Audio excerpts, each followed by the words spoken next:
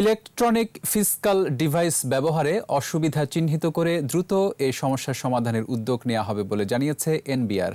বুধবার রাজধানীর একটি কনভেনশন সেন্টারে পরীক্ষামূলকভাবে এই যন্ত্র ব্যবহারকারীদের সাথে মতবিনিময় শেষে এ কথা জানান এনবিআর কর্মকর্তারা। আরও জানাচ্ছেন মেহেদি হাসান।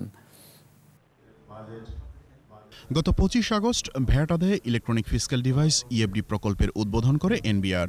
এরপর শুধুমাত্র তেজগাঁও এলাকায় একশো বিরাশিটি দোকানে এ যন্ত্র বসানো হয়।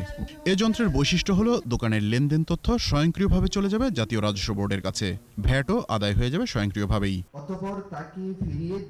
যন্ত্রটি ব্যবহার করে ঠিক কী কী সমস্যার মুখোমুখি হয়েছেন ব্যবসায়ীরা তা জানতেই কাস্টমস এক্সাইজ ও ভ্যাট কমিশনারের ঢাকা দক্ষিণের এ আয়োজন। এখন আমরা ভ্যাট চাই কাস্টমার কাছে। যখন স্লিপটা কাটি। তখন আপনি অনেক কাস্টমারে খারাপ আচরণ করে। আমরা যখন এই প্রোডাক্টগুলো চার্জ করে চার্জ দিয়ে যে বাইর করব ওইটা আমাদের জন্য একটু সমস্যা হয় ঠিক আছে? এখানে যদি কোনো স্ক্যানার স্ক্যানার মেশিন হয় তাহলে আমাদের জন্য সুবিধা হবে।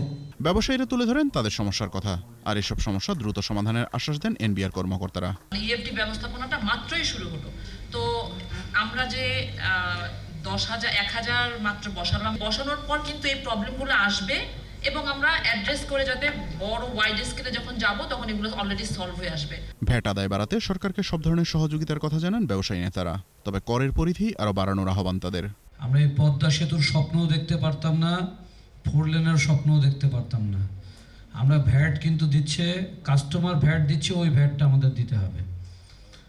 যদি আমরা ভ্যাট আমরা না আদায় করতে পারি চলতি অর্থ বছরে এনবিআরকে আদায় করতে হবে তিন লাখ তিরিশ হাজার কোটি টাকার রাজস্ব। এর মধ্যে এক লাখ পঁচিশ হাজার কোটি টাকা আদায় হওয়ার কথা ভ্যাট থেকে। মেহেদি হাসান, একুশে টেলিভিশন, ঢাকা।